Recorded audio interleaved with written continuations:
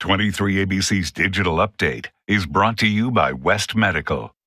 Good evening, I'm Tim Callahan. Here's what's making news around Kern County. A wildfire burning dangerously close to homes in Santa Clarita, just about an hour south of Bakersfield. The tick fire, as it's being called, has burned more than 850 acres. The fire burning east of Interstate 5 near Highway 14. Within 20 minutes, the fire spread 200 acres. Several structures may have already burned. Evacuation orders underway for residents there. Water dropping aircraft have been called in to help in that firefight.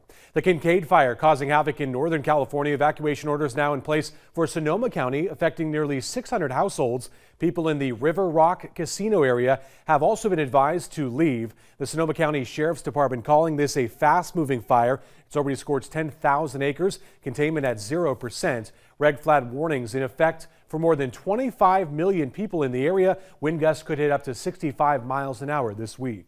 And California's largest utility company is starting another round of intentional power cuts this week to prevent equipment from sparking wildfires. The latest blackouts from PG&E come two weeks after it left nearly a million customers in the dark for days. They are affecting people in 17 counties, including wine country, Sonoma and Napa, at least through today. PG&E saying 179,000 Northern California customers will lose electricity in the shutoff event. 33 are impacted here in Kern County. More shutoffs could come later this week.